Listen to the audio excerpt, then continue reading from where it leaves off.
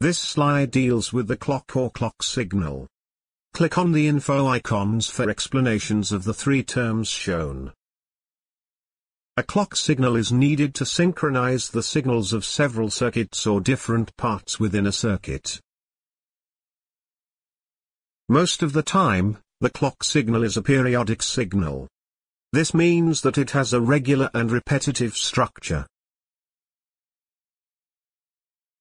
The clock signal is produced by a clock generator, which can be constructed in different ways. However, all clock generators have an resonant circuit and an amplifier. Usually, the resonant circuit is an oscillator with a quartz crystal. In the best case, this produces a constant, so-called square wave. The amplifier inverts the signal of the oscillator and feeds part of it back to maintain the oscillation.